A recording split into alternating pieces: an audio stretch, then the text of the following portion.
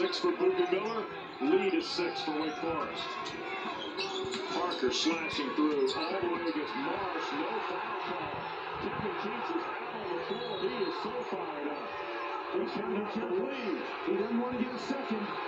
Or he just got a second. Oh, my. Oh, wow. Kevin Keatts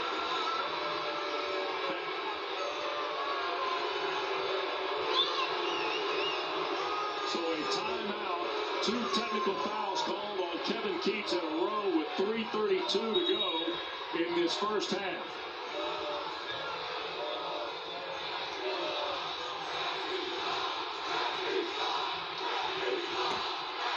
Uh, Kevin Keatts has been thrown out.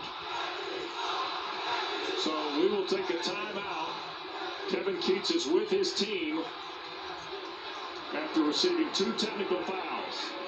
35-29 Wake Forest.